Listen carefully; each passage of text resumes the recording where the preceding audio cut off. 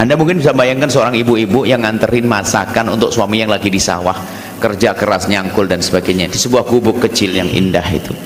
Dianterin masya Allah padahal hanya singkong sama taburan kelapa, sama kopi hitam, gula merah di sampingnya. Itu makan dilihat sama sang istri lab lab, lab sampai lupa istrinya nggak dikasih. Sudah bersetuju setelah itu langsung keluar sendawan Alhamdulillah cukup indah. Habis itu apa? Baring ketiduran. Akhirnya tinggal sama istrinya. Mesra indah, nggak usah ribut urusan kredit. Itu enak begitu. Anda bisa menemukan orang seperti itu. Ternyata ada orang kaya, masya Allah berantem terus Aduh, ribut terus ya. Makan pun harganya mahal. Makannya, makan, makan. Itu 350 ribu makannya setelah makan 390 yang dimakan yang di pojok dok bukan dimakan semuanya. Dipilih-pilih ini makan. Sudah nggak enak makan. Habis itu apa? Ditunggu keluar sendawan yang nggak ada. Malah ngomong ma obatnya mana? Allah adalah. Jadi ketahuilah hidup indah itu tidak harus dengan kekayaan. Akan tapi upayakan. Kalau anda menjadi orang kaya bahagia yang sesungguhnya tidak jaminan orang kaya itu puas dengan hartanya. Orang tamak sampai disabdakan Nabi kalau orang punya kerakusan itu dia itu biarpun sudah dikasih satu lembah emas minta yang kedua. Rakus dia susah berbuat baik keharuman tetap berjalan. Bahkan bisa jahat kepada saudara padahal yang paling kaya itu yang paling rebut hari saudaranya. Ayo apa yang terjadi? Ini permasalahan bukan masalah on, pinjaman online sama judi itu saja. Permasalahan mental kotor jiwa kotor hati yang sombong pengennya tanpa hebat. Itu rebutan waris sama saudaranya itu anak anak bapaknya anak ibunya.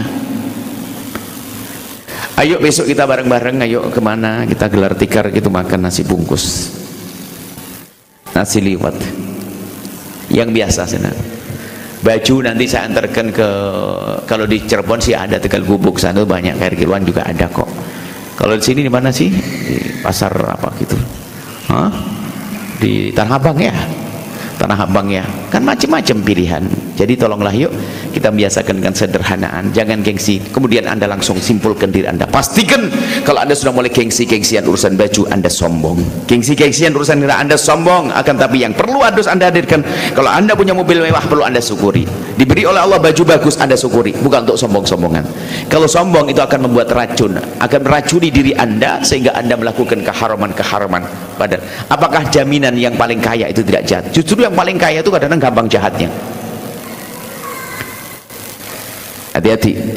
Tapi kalau sudah membekali diri dengan kesederhanaan jangan gengsi.